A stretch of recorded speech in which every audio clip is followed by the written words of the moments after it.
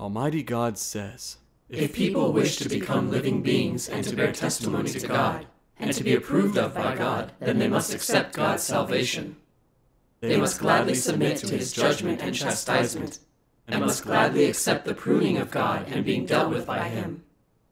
Only then will they be able to put all of the truths required by God into practice. And only then will they gain God's salvation and truly become living beings. In the dispositions of normal people, there is no crookedness or deceitfulness. People have a normal relationship with each other. They don't stand alone, and their lives are neither mediocre nor decadent. So too is God exalted among all. His words permeate throughout all mankind. People live in peace with one another and under the care and protection of God. The earth is filled with harmony, without the interference of Satan, and the glory of God holds the utmost importance among man. Such people are like angels of heaven, pure, vibrant, never complaining about God, and devoting all their efforts solely to God's glory on earth. Amen. God's words show us that a normal person's disposition contains no deceit, selfishness, and despicableness, sincerely taking on God's commission, working harmoniously with brothers and sisters, and doing all they can for their duty are the basic things a person should do. Yeah, that's I used to live by satanic philosophies such as every man for himself and the devil take the hindmost, and once a student knows everything, the master loses livelihood. I was selfish and despicable, crooked and crafty, lacking a human likeness. It wasn't until I experienced the judgment and chastisement of God's words that these dispositions began to change. Thank Yeah, God. thanks be to Great. God. I'd like to share my experience. Great. It was in June of 2018 when Brother Zhang joined our team to partner with me. At the time, I thought, I've been doing this duty for a while now, so I've got a grasp on the principles, and I've seen some results. Maybe at some point, I'll leave this team to take on a greater responsibility. I need to help Brother Zhang get up to speed as quickly as possible so that he can take on the work within our team. I proceeded to teach him the basic skills that I had learned in my duty.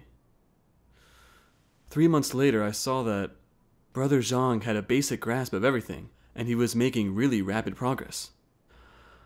At that point, I started to feel threatened, thinking, Brother Zhang has been improving so quickly in his duty. If this continues, won't he soon surpass me? If the leader finds out how fast his progress is, won't he give him an important position? When this occurred to me, I thought to myself, no, I need to hold back. I can't share everything I know with him anymore. From then on in our work, when I found Brother Zhang's skills were a little lacking, I just told him a few superficial things, without fully sharing my knowledge. I was aware that it wasn't the right thing to do, but then I thought about the old saying once a student knows everything, the master will lose his livelihood. With him in the limelight, how could I make a good show of myself? I couldn't let him overtake me. As we continued to work together, whatever Brother Zhang asked me about, I'd give him a partial response and keep the rest to myself. Not long after that, the leader sought out Brother Zhang to discuss ah, an important task. My heart quickened when I heard about this. I thought, I've been in the team longer than Brother Zhang. Why wouldn't the leader want to talk to me? Am I not as good as him? I've been the one training him. But now he's the golden child, and I'm pushed aside. He's in the limelight, and I'm forgotten. If I keep teaching him, won't he learn even faster? If he gets an important position, who will look up to me then? So from then on in our work together, when I saw Brother Zhang run into difficulties, I didn't want to help him out. Our progress suffered as a result of these things not being resolved in a timely fashion, and because of this, the church's work kept being held up. I felt a little guilty and uncomfortable, but I still didn't reflect on myself. One day, my armpit suddenly started itching. and it just wouldn't stop. Even applying ointment didn't help. The next day, my arm started hurting so much, I couldn't move it. I realized that this condition was no coincidence. So I came before God in prayer and seeking. I said, Oh God, this condition started so suddenly. I know that your good will is behind it. But I'm too insensitive, and I don't know what your will is. Please enlighten and guide me. One day during my devotionals, these words of God suddenly came to mind. If you are unwilling to dedicate all you have if you keep it hidden and tucked away are slippery in your actions. This was a wake up call for me. I'd been living in a state of desire for name and gain. Afraid that this brother would surpass me, so I was never full on in our work, and I didn't want to share my knowledge with him. I saw that this was God warning me with that condition so that I would reflect on myself. Yeah. Yes. I later read this passage of God's words. Unbelievers have a certain kind of corrupt disposition.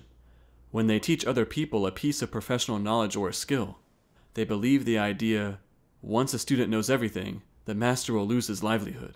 They believe if they teach everything they know to others, then no one will look up to them anymore, and they will have lost their status. For this reason, they withhold some of their knowledge, not teaching people all they know, and keeping some tricks up their sleeves. They feel this is the way they can show their rank of teacher. Always keeping cards up their sleeves, and what sort of disposition is this? It is deceitfulness. Do not think that you are doing just fine or that you have not withheld knowledge, simply by telling everyone the most superficial or fundamental things. This will not do. Sometimes you may only teach a few theories, or things that people can understand literally. But novices are unable to realize any of the essence or important parts at all. You only give an overview without elaborating or going into detail, all the while thinking, Well, I've told you, and I haven't intentionally held anything back. If you don't understand, it's because your caliber is too poor, so don't blame me. We'll just have to see how God leads you now. Such deliberation contains deceit, does it not? Is it not selfish and ignoble? Why can you not teach people everything in your heart and everything you understand? Why instead withhold knowledge? This is a problem with your intentions and your disposition. Amen. Amen. God's words reveal precisely my own situation. I didn't want to teach the skills I'd learned to him for the sake of my own name and position. I was afraid that he'd get the hang of it and leave me in the dust.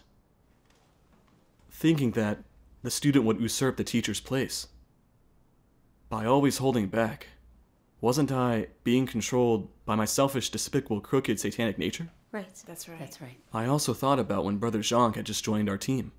My motivation for instructing him had been so that he could take on the team's work as soon as possible. I'd then have someone to hand my duty off to, because I'd been hoping for a more important position. But when I saw how quickly he picked things up, and that the leader valued him, I became really concerned. I was worried that if he kept doing well, he'd surpass me sooner or later, that he'd supplant me. As a result, I didn't want to share what I knew with him. Sometimes, I knew he'd encounter difficulties in his duty, and I didn't want to help. Which ended up delaying the church's work. I saw that I was always working to protect my own name and position, without giving any consideration to the work of God's house. I really was so selfish and deceitful. Yes. Yes. Yes. Without God's timely discipline having me develop that condition, I wouldn't have reflected on myself. I then read these words of God. Since gaining faith, you have eaten and drunk God's words. You have wanted to accept his judgment and chastisement and accept his salvation. However, if the principles by which you act and the direction in which you do things and conduct yourself as a person have not changed, the same as the unbelievers, will God acknowledge you as one who has faith? He will not. He will say you are still walking the path of the unbelievers. Thus, whether you are fulfilling your duty or learning professional knowledge, you must adhere to principles. You must do everything with truth, and practice that truth. You must use truth to resolve problems, to resolve the corrupt dispositions that have been revealed in you, and to resolve your erroneous ways and thoughts. You must continuously surmount these. For one thing, you must examine yourself. Once you have done so, if you discover a corrupt disposition, you must resolve it, subdue it, and forsake it. Once you have resolved these problems, when you don't act based on corrupt dispositions, and when you can let go of your motives and interests and practice according to the principles of the truth, only then will you do what one who truly follows God is supposed to do. You must take the essence and main points of that professional knowledge, the things others have not fathomed or realized, and tell them to people, so that they can all bring their strengths to bear, and thence figure out even more numerous, more profound, and more mature things. If you contribute all of these things, they will be beneficial to people who are fulfilling this duty, as well as to the work of God's house. When most people are first introduced to some specific aspect of professional knowledge, they can only comprehend its literal meaning, whereas the part that involves the main points and essence takes practice for a period of time before people can grasp it. If you have already grasped these finer points, you should tell them directly. Do not make them waste time on some roundabout path. This is your responsibility. It is what you should do. Only if you tell them what you believe to be the main points and essence will you not be withholding anything, and only then will you not be selfish. Amen. Amen. Amen. From God's words, I realized I needed to focus on self reflection in my duty and seek the truth to resolve my selfish and despicable satanic nature. I needed to forsake my incorrect thoughts and ideas and be able to work as one with my brothers and sisters in my duty. Yes. Yes. I realize that we all lack so much, whether it's in the truth or in our work. So, brothers and sisters need to help and support each other in their duties, and to fellowship on what they understand, without holding anything back. By making up for each other's shortcomings this way, we're less likely to take detours. Exactly. Exactly. Thanks be to God. In fact, me being a bit more skilled than Brother Zhang was entirely due to God's kindness. Yes. I should have been considerate of God's will, let go of my selfishness, and taught him everything that I knew, so he could perform his duty well as soon as possible. That was God's will. Amen. Amen. Thanks be to God. Yes. Thanks be to God. As soon as I realized that, I hurriedly came before God in prayer, willing to forsake my own incorrect thinking, and no longer live by my selfish, despicable satanic dispositions. I later sought out Brother Zhang to have an honest chat with him about the state I'd been in, and to dissect these satanic dispositions of mine. I also shared the key points of the skills that I possessed with him. Thanks, Thanks be to God. Thank God. When I began to practice this way, I felt much more at ease, and that health issue cleared up before I knew it. Thanks be Great. Thanks God. be to God. I thought that after going through that, I had already changed. But these satanic dispositions were really deeply rooted. As soon as the right conditions came up, I just couldn't help but let those poisons show again. In March 2019, Brother Zhang and I were elected at the same time to be church leaders. At first, we worked really well together. Whether it was an issue within the church or a difficulty we ran into, we were able to resolve it by seeking the truth. But then one day, I overheard someone in the church say, uh, Brother Zhang's fellowship on the truth is quite practical, and he's really responsible in his duty. Hearing this sent me into inner turmoil again. And I thought, if I'm outdone by Brother Zhang, pretty soon I won't have any dignity at all. In all of our work discussions after that, I only pointed out mistakes and flaws, and kept the paths of practice to resolve them to myself. Sometimes, when he came to me to seek, I just grit my teeth and throw him a bit of a bone. Afraid that if he understood too much, he'd just go resolve the issues and overshadow me. I remember there was one time when he was going to offer support to brothers and sisters experiencing weakness. He was afraid that without the right kind of fellowship, it would be fruitless, so he came to consult with me on what truths would be best to focus on. But my consideration at the time was that if I told him everything I knew and he went and dealt with the problem, the brothers and sisters would definitely look up to him. And then what would I share? In the fellowship next time? Wouldn't he look better than me? So at the time I thought, no, I have to hold back something for me to fellowship on next time. so that they can see I'm the one more capable of resolving issues.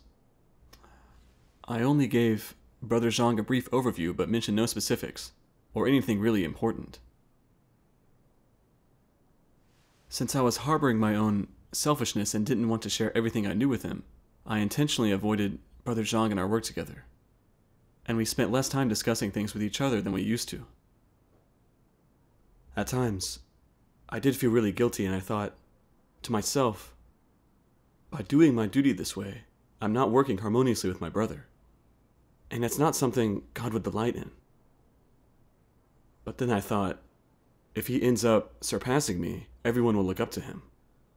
So I didn't want to practice the truth anymore. I was constantly in such an unyielding state during that time, and God's righteous disposition came upon me. My mind was constantly in a whirl.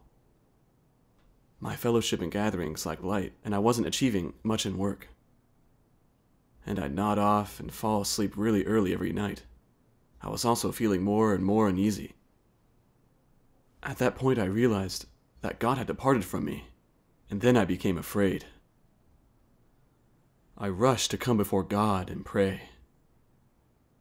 Oh God, I've been living within my disposition of selfishness and despicableness. I know that this disgusts you, but I can't help myself. I can't rid myself of them. God, please enlighten me, so that I may come to a true understanding of my own nature and essence. After my prayer, I read this passage of God's words. Until people have experienced God's work and gained the truth, it is Satan's nature that takes charge and dominates them from within. What specifically does that nature entail? For example, why are you selfish? Why do you protect your own position? Why are your emotions so strong? Why do you like those unrighteous things? Why do you like those evils? What is the basis for your liking such things? Where do these things come from? Why are you so happy to accept them? By now, you all have come to understand that the main reason is that they contain Satan's poison. As for what Satan's poison is, it can be fully expressed with words. For example, if you ask some evildoers why they act that way, they will answer, Every man for himself, and the devil take the hindmost. This single phrase expresses the very root of the problem. The logic of Satan has become people's lives. They may do things for this purpose or that, but they are only doing it for themselves. People all think that since it is every man for himself and the devil take the hindmost, they should live for their own sakes, doing everything in their power to secure a good position and what food and clothing they need. Every man for himself and the devil take the hindmost. This is the life and the philosophy of man, and it also represents human nature. This statement is precisely Satan's poison, and when internalized by people, it becomes their nature. Satan's nature is exposed through these words. They completely represent it. This poison becomes people's lives as well as the foundation of their existence. And corrupted humanity has been consistently dominated by this poison for thousands of years. Amen. Uh, Amen.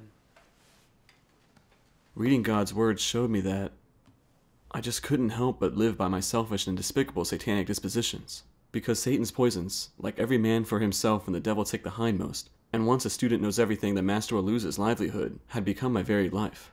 Indeed, Yes. yes. I had taken them as positive things, as rules to live by. I thought that's how people should live, that it was how to protect ourselves. As a result, I became increasingly selfish and contemptible, only thinking of myself.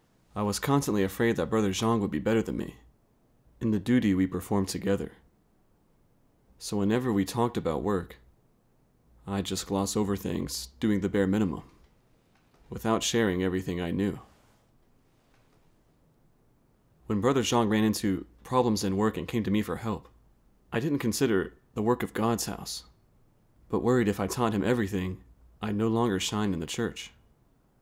Even when I knew very well that it wasn't the right approach, I still didn't want to help him. I could see that I wasn't doing my duty out of consideration for God's will or to uphold the work of God's house, but that I was doing it in pursuit of personal fame. It really was incredibly selfish and crafty of me. Yes, Yes, indeed. indeed. Relying on those satanic dispositions in my duty, how could I possibly gain God's guidance and blessings?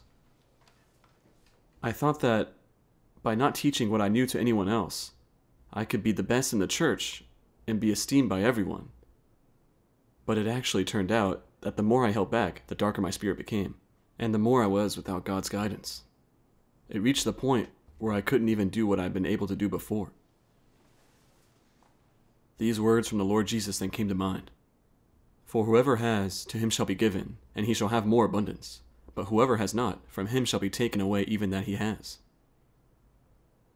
Going through that made me truly appreciate God's righteous disposition. When I gave it more thought, I saw that being able to see some issues in my duty was entirely God's guidance and enlightenment. And without the guidance of God's words, I was blind True. unable to understand anything and unable to resolve problems. But I was totally lacking self awareness, and I shamelessly mistook the Holy Spirit's enlightenment for my own ability. Hadn't I been trying to rob God of His glory? God can see into people's hearts and minds. I knew that if I kept doing my duty relying on satanic disposition, I'd certainly be forsaken by God. Yes. At that thought, I quickly came before God to pray, saying, God, I won't be so self seeking and contemptible in my duty anymore. I really want to work well with Brother Zhang and do my duty well. Amen. Amen. After that, I read these words of God Don't always do things for your own sake. Don't always consider your own interests. And don't consider your own status, face, or reputation. Give no consideration to people's interests. You must consider the interests of God's house and make that your first priority. You should be considerate of God's will. Start by contemplating whether or not you have been impure in your duty whether you have done your utmost to be loyal, complete your responsibilities, and given your all, and whether or not you have wholeheartedly given thought to your duty and the work of God's house. You must think of these things. Consider these things frequently, and you will have an easy time performing your duty. When you reveal yourself to be selfish and ignoble, and have become conscious of this, you should seek the truth. What should I do to be in line with God's will? How should I act so it benefits everyone? That is, you must first set your interests aside, giving them up based on your stature, a little at a time. After experiencing this a few times, you'll set them aside completely. And as you do so, you will feel more and more steadfast. The more you set your interests aside, the more you'll feel you should have conscience and reason as a human being. You will feel without selfish motives you are being an upright person, and you are doing things to satisfy God you will feel that makes you worthy of being called human. And that living this way, you are being open, honest, and a genuine person. You have a clear conscience and are worthy of all the things bestowed upon you by God. The more you live like this, the more steadfast and brighter you will feel. As such, will you not have set foot upon the right track? Amen. Amen. Amen. After reading this, I understood that if I wanted to do my duty well, I first had to think about how to uphold the work of God's house, how to put my all into work, and how to do it with responsibility. God's focus is on our attitude and our duty.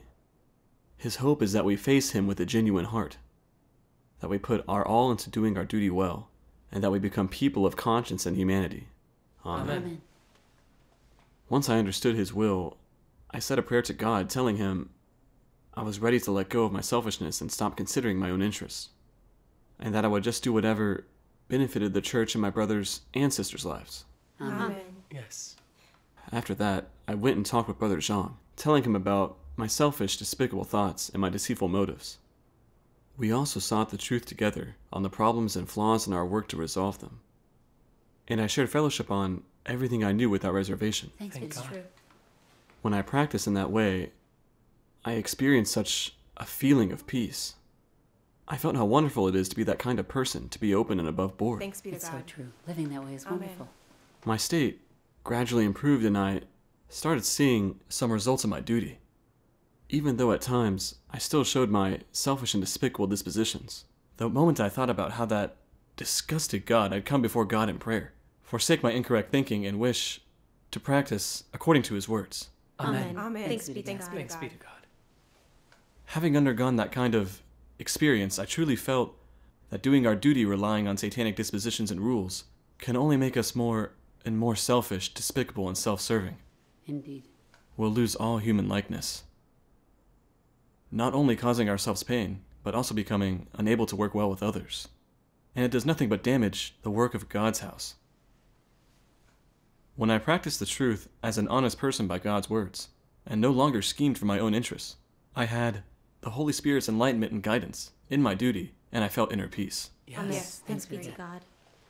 It was the judgment and chastisement of God's words that gave me a bit of understanding of my selfishness and deceitfulness.